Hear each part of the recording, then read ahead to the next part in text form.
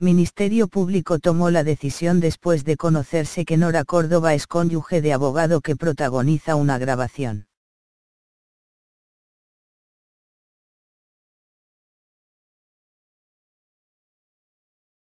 La Fiscalía abrió este lunes investigación preliminar contra fiscal anticorrupción, Nora Córdoba, quien decidió iniciar una sorpresiva indagación preliminar, el pasado 10 de julio, referida al contenido de los audios.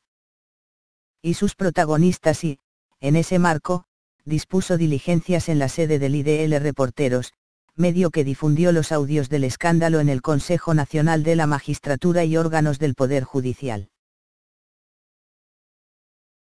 La Oficina Desconcentrada de Control Interno de Lima del Ministerio Público tomó esta decisión por presuntas infracciones administrativas en el ejercicio de sus funciones, tras conocerse que Córdoba es esposa de uno de los implicados en los audios que ella misma investigaba.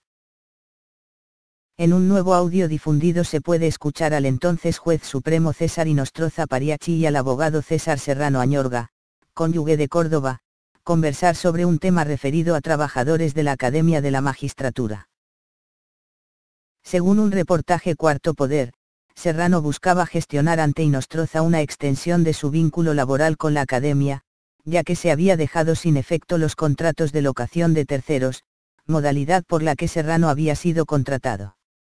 Serrano le propone además que le reconozcan el pago de los meses de enero, febrero y marzo de este año. Inostroza, le habría propuesto un contrato vía CAS, concurso público el juez le dice que eso se puede trabajar. En su disposición, la fiscal superior Silvana Rejas solicita a la fiscal Córdoba un plazo de cinco días hábiles para que cumpla con presentar sus descargos respecto a los cuestionamientos formulados en su contra. También ha dispuesto citar a Rodrigo Runrus, fiscal adjunto, para el jueves 26 de julio y brinde su declaración.